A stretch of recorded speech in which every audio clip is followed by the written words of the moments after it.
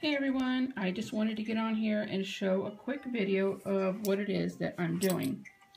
Um, I am uh, doing my husband's uh, Christmas gift. You know, I went and I bought him the things that he's asked for. You know, like he's asked for a drill and tools and all this stuff. You know, which is fine. I do like to buy him things that he wants because it's so hard to shop for him because since he works in Afghanistan, he's you know, gone for months. So he doesn't get to use like the jewelry and the watches and the clothes and cologne. It's all in the closet with price tags on it. You know, um, he just doesn't get to use it enough. And so um, I like to make him homemade gifts. Well, something that I've been doing for Derrick since he and I first started dating years ago, um, I started writing a journal to him. And uh, when he would come back to see me, I would give him a journal and the journal is it's like a diary you know whatever you would um write in a diary daily i would do that for derrick. I would write in uh, a diary for you know journal type every day. Something that i wanted to tell him something that happened just like you would talk to your significant other on a daily basis. So when he would come i would give him the journal he'd take it back and then he would write his responses back on the pages that he's read. So then when he comes home he gives it to me and I give him a new one. So then during the time he's gone, I read what he's wrote to me back in the journal and he reads a new one and we continue. We've been doing this for years. I We still do it. And um, it's something he looks forward to. He really loves it. And so, um, anyway, so this year, additional to that, well, you know, for this Christmas, additional to me giving him his journal when he comes, um, when he comes home this month, um, I'm going to give him this.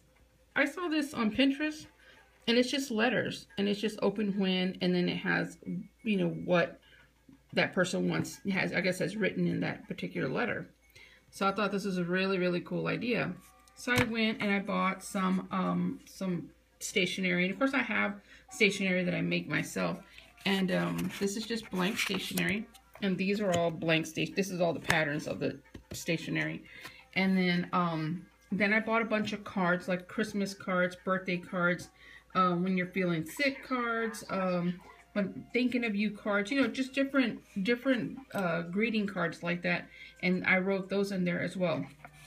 In here, I write him special special messages and things like that in these. But the cards that way, if it's like Happy Thanksgiving, Happy Halloween, those days that he's not here, those holidays, it's in there. Valentine's Day, anniversaries just in case he's not home. Um, he already has it in his in his stash of uh, letters. So anyway, so I just bought stationery. I have all my pens and the Beast here. And I have some stickers. I got these from Michael and Michael's. And I also have a bunch of other ones in here, but you know, I, these are really nice.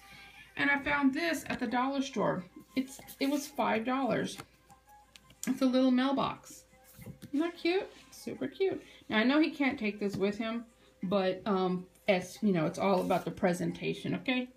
So uh, when he comes, he can just, you know, be like, oh, this is so nice, whatever. Um, and then he can just take the envelopes with him. And so when he opens it up, he'll see letters.